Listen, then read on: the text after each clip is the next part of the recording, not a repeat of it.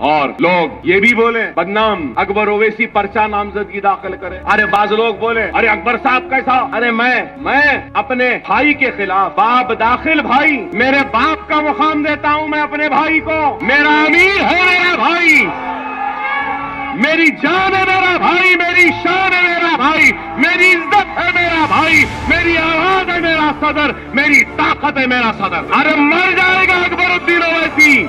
गुमनामी की ज़िंदगी गुजार लेगा, जंगलों में चले जाएगा। खुदा की कसम, कभी भी मंजलस या अपने भाई के खिलाफ, अपने सदर के किसी भी फैसले के खिलाफ नहीं जा। ये कहे की ज़िंदगी, ये कहे का इख्तदार ये कहे की ताकत, ये कहे की दौलत। मेरी जूती की नोट पर इख्तदार मेरे सर की पगड़ी और मेरे सर की शान का नाम मेरा भाई, मेरा सदर बैरिस्टर सदुद्दीन ओवैसी